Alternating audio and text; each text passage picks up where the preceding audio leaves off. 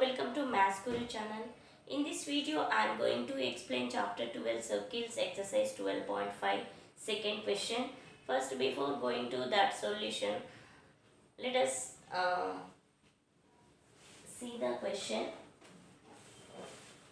See, question is given that vertices A, comma B, comma C of a quadrilateral ABCD lie on a circle. Okay. Also, angle A plus angle C is equal to 180 degrees. Then prove that vertex vertex D also lie on the same circle. Okay.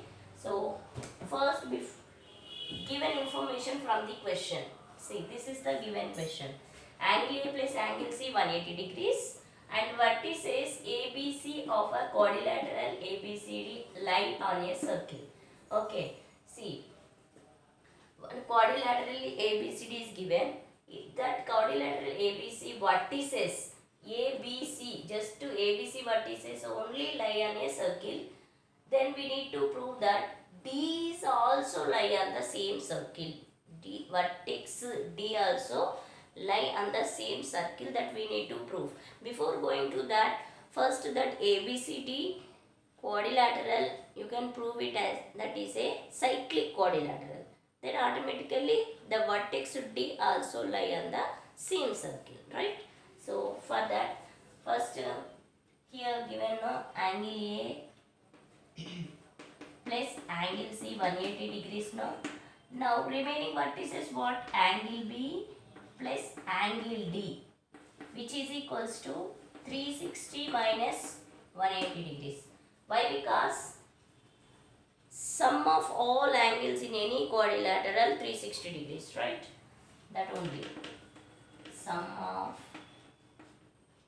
angles in a quadrilateral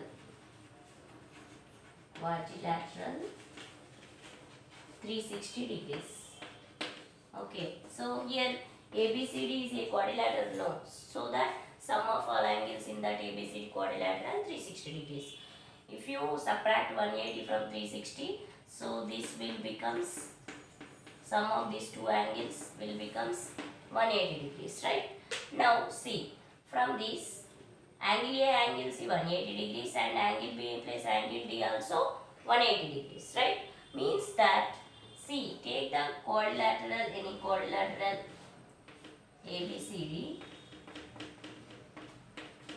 sum of opposite angles 180 means we can say that that is a cyclic quadrilateral. That is a cyclic quadrilateral. Okay. If it is a cyclic quadrilateral means that now in quadrilateral just I am taking the shape of a quadrilateral ABCD in now in quadrilateral ABCD sum of opposite angles. Sum of opposite angles. 180 degrees. Sum of opposite angles. 180 degrees. Why? Because angle C angle A are opposite angles. Sum should be 180 angle B angle D also opposite angles. That is 180 degrees. So now in given quadrilateral ABCD sum of opposite angles 180 degrees. Based on this reason, we can say that ABCD is a cyclic quadrilateral. ABCD is a cyclic quadrilateral. If it is cyclic quadrilateral, okay, if it is cyclic quadrilateral, then vertex D also lie on the same circle.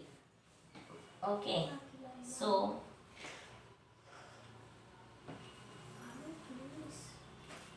ABCD quadrilateral ABCD is a cyclic quadrilateral. Why it is cyclic quadrilateral? Why? Because sum of opposite angles 180 degrees and uh, if it is a cyclic quadrilateral then vertex D also lie lie on the same circle. Lie on the same circle. So that will be. So before we took abc only vertex abc lie on the circle. We need to prove d also lie on the same circle. That we proved that. Okay? I hope you understood. Very simple just given information take it and remaining two angles write it. From that value how to get subtract this value from 360 from total angle. Okay then you will get these two angles sum is 180 so here opposite angle sum 180 here also opposite angle sum 180 okay so now in quadrilateral abcd sum of opposite angles 180 we got it no? So now so quadrilateral abcd is a cyclic quadrilateral if it is cyclic quadrilateral then vertex D also lie on the same circle. Okay. I hope you understood. Once take the screenshot. One more question also I am going to explain. That is the prove that a cyclic rhombus is a square. Nothing will be there. We need to draw the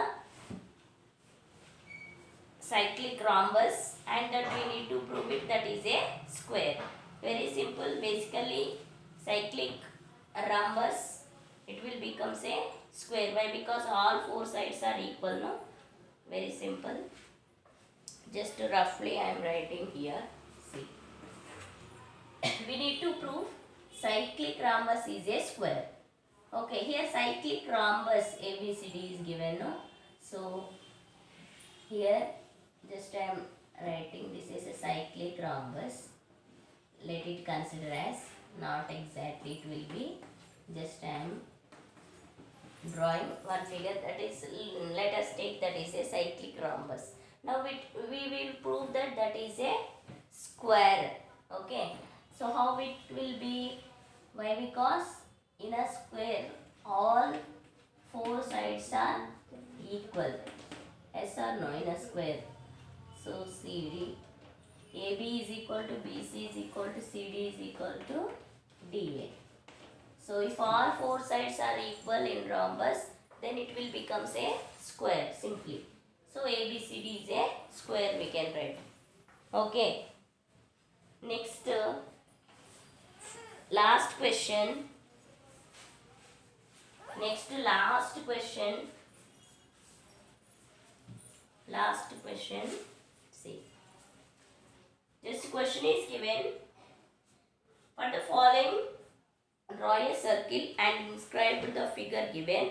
If a polygon of a given type can't be inscribed, write not possible.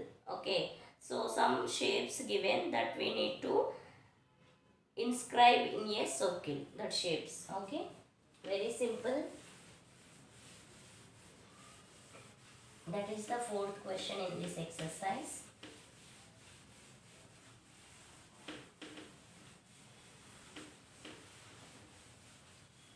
So everyone after watching video we can give comment your opinion.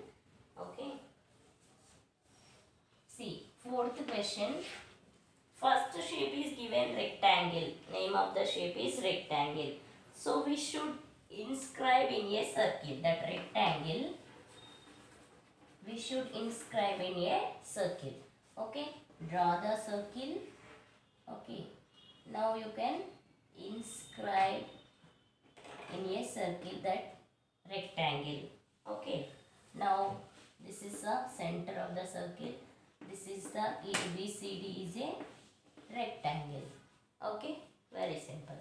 Next the second figure is second shape name of the figure is trapezium. Okay? Here trapezium is given. The trapezium we can inscribe in a circle. So how it will be? Same circle you can draw it. Okay. Now trapezium they said no. Just a trapezium you can draw the trapezium.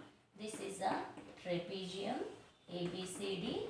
We can inscribe in a circle. Okay. Next uh, third third name of the figure obtuse triangle obtuse triangle given. So what is meaning of obtuse triangle? In a triangle, if any one angle is obtuse, then we can call a obtuse angle triangle, right? So that we can draw, that we can inscribe in a circle, obtuse angle, obtuse triangle. So just I am taking, this is a obtuse angle triangle, ABC. So here it is a obtuse triangle which is inscri- inscribed in a circle. Okay. Next uh, figure non-rectangular parallelogram. Non-rectangular parallelogram. Non-rectangular parallelogram it is not possible. It is not possible. Okay. Next uh, acute isosceles triangle. Next one is fifth one is acute isosceles triangle. So we should inscribe in a circle. Isosceles means two sides of a triangle should be equal. So A, B, C. These two sides are equal. Okay. Next, quadrilateral PQRS with PR as a diameter. With PR as a diameter. Sixth one. See. This is a circle. Okay. So this is a circle. PQRS is a quadrilateral. Any quadrilateral. Just I am taking one quadrilateral. Okay. Any quadrilateral PQRS. Give the name PQRS. Okay. What they are saying? With PR as a diameter. See, PR as a diameter. This is the center of a circle. So, the line which is passing through the diameter of, uh, sorry, center of a circle that is a diameter, right? So, see, this is PR as a diameter. Now, PR is a diameter of this circle. So, and PQRS is a quadrilateral.